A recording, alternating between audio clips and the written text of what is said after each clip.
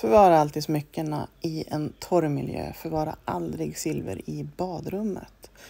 Eh, ärg kan man få bort med ketchup. Man kan få bort det med ättika. Man kan använda lite salt i ättikan. Eller så kan man använda sig av vanligt bakpulver. Ta fram en glasskål, lägg aluminiumfolie i botten, lägg i smyckena och strö över ganska mycket bakpulver. Häll på kokande vatten och ha gärna då skålen under en fläkt eftersom det bildas ångor som inte är trevliga att andas in.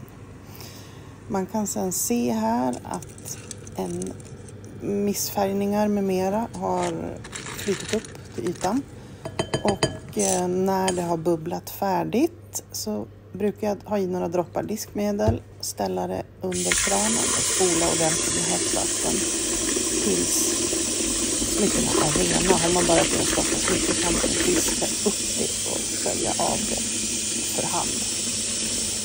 Sen har man blanka silversmycken igen att njuta av och förvara dem inte i badrummet så håller de sig blanka längre.